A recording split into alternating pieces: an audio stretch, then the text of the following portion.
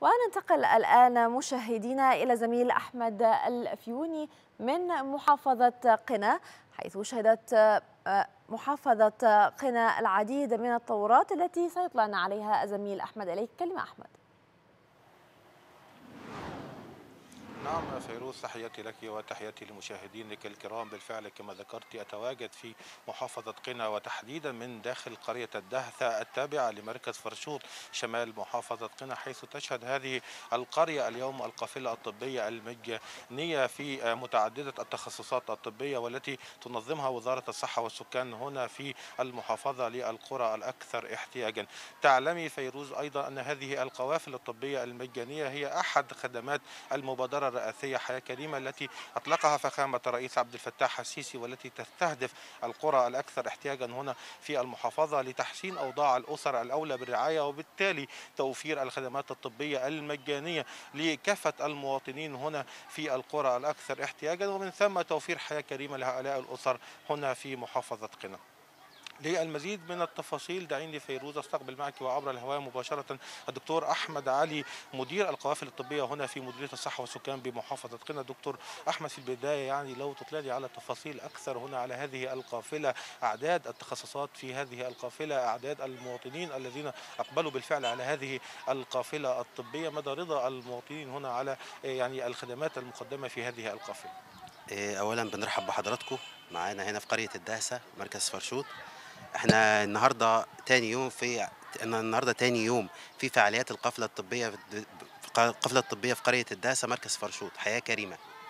إحنا عندنا النهارده سبع تخصصات إن شاء الله تمام؟ منهم البطنة العظام الأطفال الجلدية الجراحة تنظيم الأسرة والنساء. أوكي؟ إحنا تاني يوم زي ما قلت لحضرتك إحنا أول يوم إن شاء الله بإذن الله يعني غطينا 553 حالة. بواقع 149 بطنة عندنا 115 حالة عظام 102 حالة أطفال 37 جراحة 38 نساء 14 حالة تنظيم أسرة. بإجمالي 553 حالة إن شاء الله. إحنا المره دي تاني مرة نبقى موجودين فيها في الدهسه إحنا كنا هنا في شهر اتنين. وبنكرر في شهر ستة زي ما انت شايف حضرتك. إحنا طبعا قرى حياة كريمة اللي هي مبادرة السيد الرئيس عبد الفتاح السيسي وتحت رعاية اللواء المحافظ أشرف الدودي وكيل وزارة الصحة عندنا الدكتور راجي تودروس صالح. بيوجهونا أو بيوجهنا بمعنى أصح إن إحنا الأماكن اللي زي كده اللي محتاجة خدمة طبية مكثفة تمام؟ وتبقى بعيدة شوية برضو عن المستشفيات المركزية آه نعمل فيها القفلة مرة واثنين وثلاثه خلال السنة.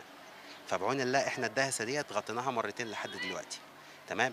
آه خلال الفترة اللي جاية من شهر 6 لحد شهر 12 إن شاء الله 2021 ممكن تضاف برضو المرة ثالثة ومرة رابعة كمان.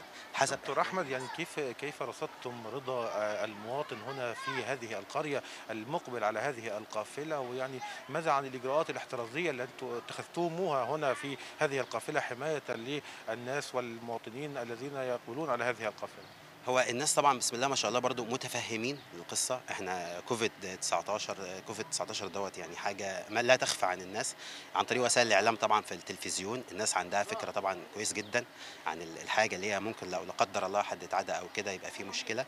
آه طبعا زي ما قلت لحضرتك دي تاني مرة. فإحنا في ناس بتجيلنا بناء برضو على المرة الأولانية. الناس دي جات لنا أول مرة عملنا تقريبا أكتر من 2000 حالة خلال اليومين. آه تاني مرة أو تاني قفلة بمعنى صح في الدهسة. الاقبال طبعا كبير. بنحاول برضو مع الناس إن إحنا يعني بنوعي الناس عن طريق الثقافة الصحية بالاجراءات الاحترازية والتباعد. عندنا في أثناء الكشف أو أثناء حتى قطع التذاكر بيبقى في مسافات ما بين الناس وهي واقفة بتقطع التذاكر العيادات ما بيبقاش في تزاحم على العيادات.